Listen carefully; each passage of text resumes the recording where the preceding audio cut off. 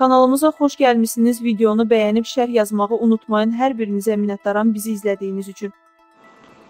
Ermənistanın paytaxtı İrəvanda keçirilən ağır atletika üzrə Avropa çempionatının açılış mərasimində Azərbaycan bayrağının yandırılması ilə bağlı Gənclər və İdman Nazirliyi və Milli Olimpiya Komitəsi birgə bəyanat yayıblar. Oxu24.com xəbər verir ki, bəyanatda yarışda iştirakdan imtina edildiyi bildirilib.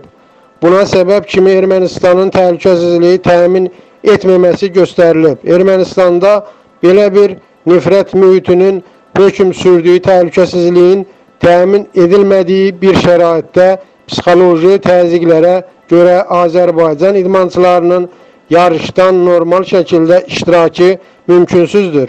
Bütün bunlar nəzərə alınaraq Azərbaycan idmançılarının vətənə qayıtması barədə qərar qəbul edilib. Ermənistan onların təhlükəsiz şəkildə qayıtmasını təmin etməlidir.